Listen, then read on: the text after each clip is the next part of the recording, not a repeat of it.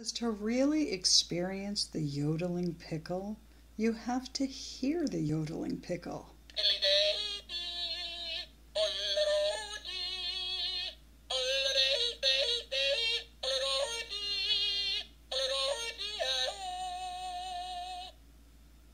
How can you resist that?